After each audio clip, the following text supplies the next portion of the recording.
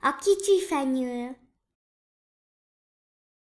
Egyszer volt egy fenyőfa, a fenyőfa kicsi volt, a többiek pedig nagyok.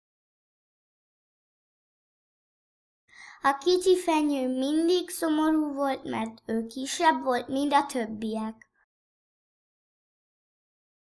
Egy napon gyerekek jöttek az erdőbe, mert egy karácsonyfát kerestek. A gyerekek sokáig keresgéltek, míg megtalálták a kicsi fenyőt. A kicsi fenyő nagyon megtetszett nekik.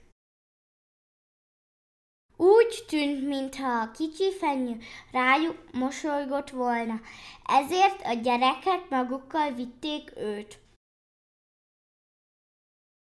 Otthon a gyerekek a kicsi fenyőt egy cserépbe ültették, hogy az még sokáig élhessen.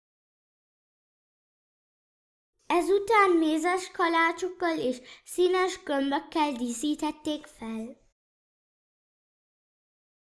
Mivel karácsony volt, a kicsi fenyőfa mostantól karácsonyfa lett. A kicsi fenyő boldog volt, hogy végre családra talált. És ez volt a mese a kicsi fenyőfáról. thank you